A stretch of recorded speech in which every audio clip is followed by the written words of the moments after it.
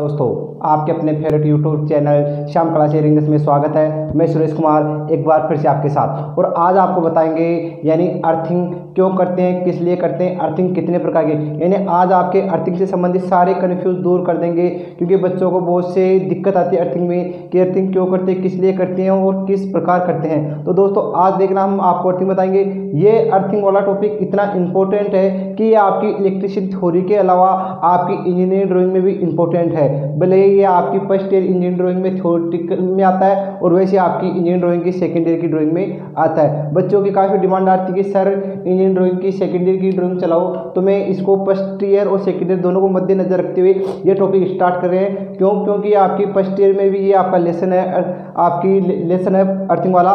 तो वो भी है, इसके अलावा आपकी सेकेंड ईयर की इंजीनियर ड्राइंग के लिए भी इंपॉर्टेंट है। तो दे दोस्तों, इस वीडियो को लास्ट तक ज़रूर देखना।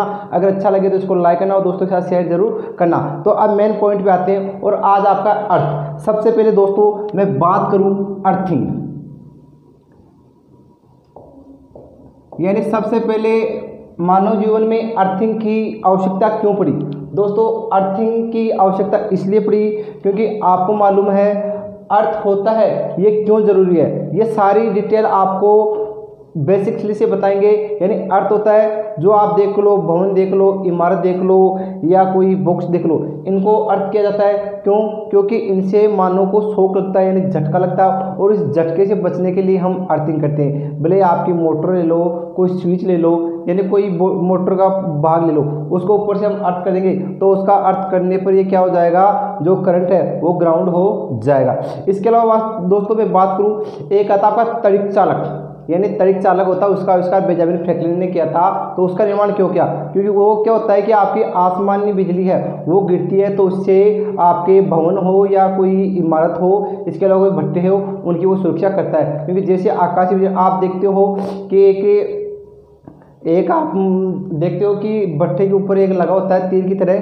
तो वो आपका तरीक चालक होता है, जो लगभग तांबे का बना होता है तो वो क्या करता है, जैसे आसमानी बिजली गिरेगी तो उसके ऊपर गिरेगी, वहाँ से क्या हो जाएगी ग्राउंड हो जाएगी। वो तो होता है आपका तरीक चालक। इसके लिए हम भवन बनाते हैं तो भवन के ऊपर भी आपको अर्थिंग करनी चाहिए, क्योंकि उससे भी क्या आसमानी बिजली से सुरक्षा हो सकती है। तो अभी मेन पॉइंट पर आते हैं अर्थिंग क्यों करते हैं अर्थिंग मानव जीवन की सुरक्षा करती है। क्यों? क्योंकि आप किसी मशीन की बॉडी है, उसको अर्थ करोगे तो उससे सुरक्षा मिलेगी। इसके अलावा आपके घर में फिटिंग करते हैं तो switch board phase switch board होता है। इसके अलावा आपके जो इसके अलावा आपके जो क्या होते हैं, पाइप होते हैं, उन आदि को क्या करते हैं, अर्थ किए जाते हैं, जिससे वो ग्राउंड हो जाता है। तो अब मेन पॉइंट पे आते हैं और आज आपको बताएँगे अर्थ किस प्रकार बनाते हैं। अब आपके जो अर्थिंग होती है, ये मुख्य दो प्रकार होती है। एक तो होती है प्लेट अर्थिंग एक होती है पाइप अर्थिंग ज़्यादातर आपकी प्लेट अर्थिंग काम में लेते हैं। अब आपकी जो प्लेट अर्थिंग है, वो आपको डायग्राम बना के फुल डिटेल में बताएँगे, किसी प्रकार का कन्फ्यूज़ नहीं छोड़ेंगे।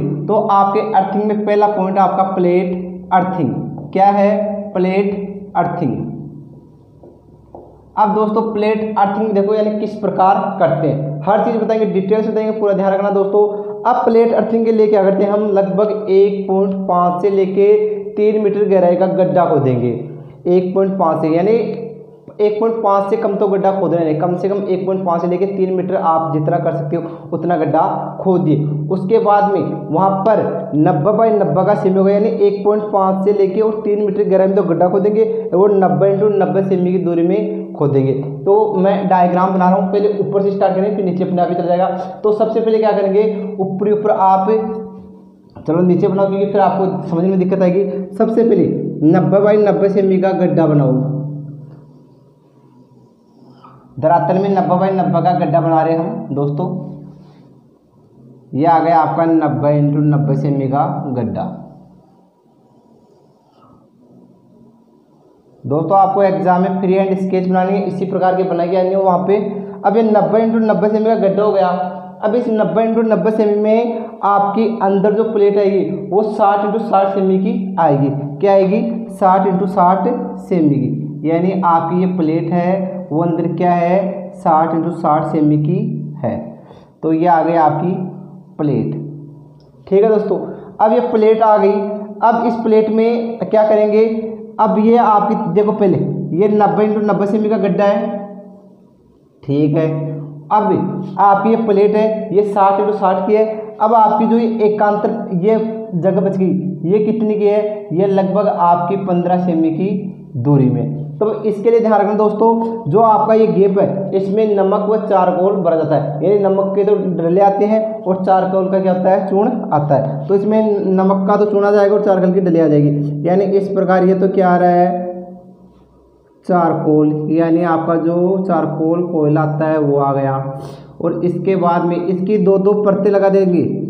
अब ये क्यों लगाते हैं? ध्यान रखना, ये अर्थिंग नमी वाले स्थानों पर अधिक उपयुक्त होती है। यानी जहाँ पर नमी है, वहाँ पर ये अर्थ ये आ गया क्या आपका? नमक। ऊपर क्या था? चारकोल का। यानी ये तो आपके नमक डलेगा, ये चारकोल, ये आ गया। अब इसके बाद में वापस ये क्या आ रहा है? आपका नमक के डले आ रहे हैं। और चारकोल का चूर्ण भरा जाता है। दोस्तों, ध्यान रखना, बहुत ही मोस्ट इंपॉर्टेंट आपके लिए। और ये पंद्रह सेमी के एकांतर की दूरी में हम भर रहे हैं। दोस्तों, बहुत ही इजी है। आराम से समझना, आराम से समझ में आएगा आपको। यानी किसी प्रकार का कंफ्यूज नहीं जोड़ेंगे, हर चीज़ आपको डिटेल से भी बताएँगे दोस्तों। तो ये इस प्रकार हम ये बन रहे हैं। अब इसमें लगभग हम पूरे में ये इस प्रकार बनना है दोस्तों, जो आप लगभग भर लोगे। इसके अलावा बात करें दोस्तों आगे।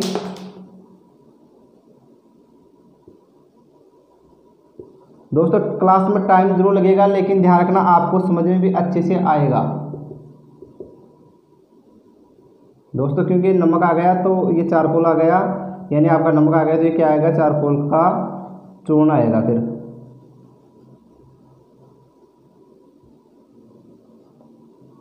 यानी इस प्रकार डले की आकृति के, आपको इस प्रकार आकृति बनानी है दोस्तों।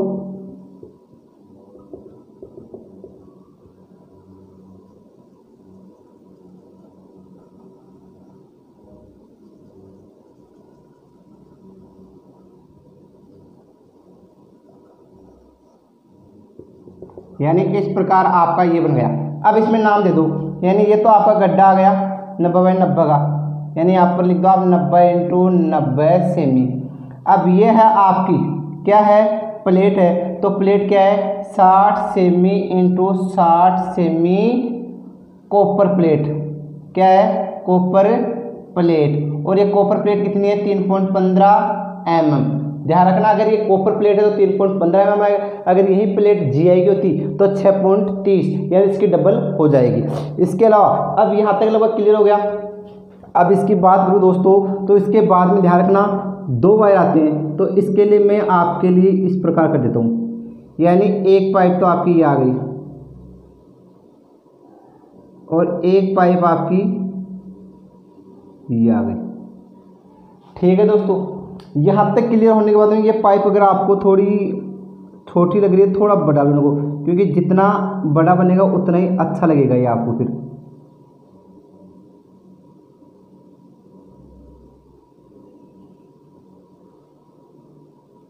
ठीक है दोस्तों, इस प्रकार थोड़ा सा ये गैप छोड़ दें दोनों पाइपों के बीच में दोस्तों।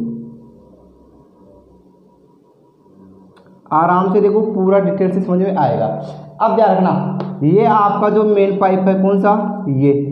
ये क्या जोड़ा? है ऊपर जो आपकी फनल आती है पानी डालने के लिए उसमें। और ये पाइप है। जो ये पाइप आपका कौन सा है? जो इधर इसमें से क्या जा रहा है? वायर आ रहा है। जो आपके अर्थ के लिए लगाया जाता है। यहाँ तक क्लियर हो गया। यहाँ तक क्लियर होने के बाद में ये ऊपर जा रहा है ये पाइप अब दोस्तों ये दो पाइप है। इन दोनों पाइप में क्या होता है? अलग अलग है। अलग अलग क्या है? आपका जो ये पाइप है जीआई का, किसी का भी, जो ये पाइप है, ये उन्नीस पॉइंट पाँच एम एम का पाइप है। क्या है? उन्नीस पॉइंट पाँच एम एम का जीआई पाइप है।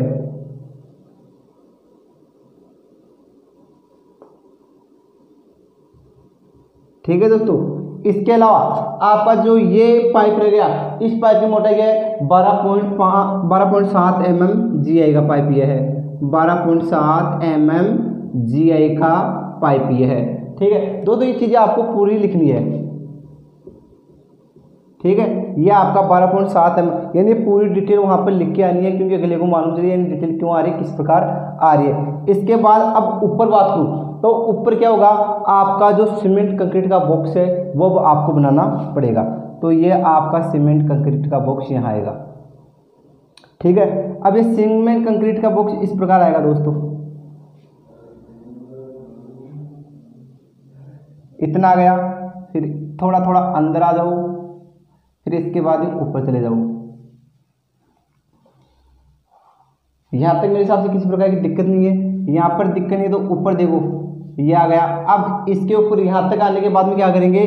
कास्ट आयरन का इस सीमेंट बॉक्स बना सीमेंट कंक्रीट का बॉक्स इसके ऊपर ऊपर सीमेंट कास्ट आयरन का बॉक्स बना देंगे। क्यों बनाते हैं? यानी ये आपके बाहरी मौसम से सुरक्षा करने के लिए, यानी आपकी धूल वगैरह बरसात वगैरह, इससे इसके ऊपर किसी प्रकार का ये आवरण न चढ़े और आपका अर्थ एकदम सही रहे। अब इसके बाद में ये क्या आपका कास्ट आयरन का बॉक्स, ठीक है? और ये क्या आपका? अब यहाँ पर ध्यान रखना दोस्तों, ये आपकी जो पाइप है ये पाइप किससे जुड़ी हुई है?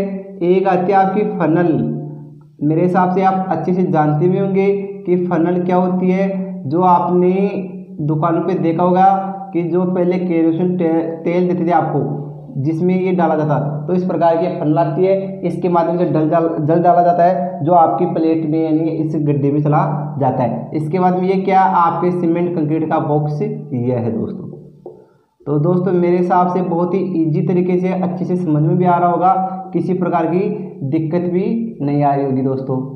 तो इस प्रकार आपका ये प्लेट अर्थिंग लगभग तैयार हो गई दोस्तों। अब इसमें क्या होता है? ये क्या है आपका? Cement concrete box. इसके अलावा ये क्या है? फनल। इसके अलावा बात करूँ दोस्तों, यहाँ से लेके यहाँ तक ये गड्ढा है, ये आपका एक पॉइंट पाँच मीटर है।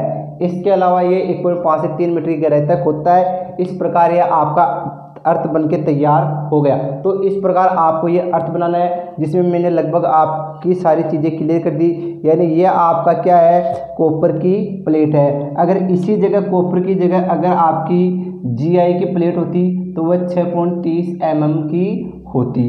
अब स्टार्टिंग में बता दें फुल डिटेल बता दें, पूरा ध्यान रखना दोस्तों। यानी सबसे पहले क्या करेंगे हम? एक पॉइंट पाँच मीटर का गड्ढा खोदेंगे।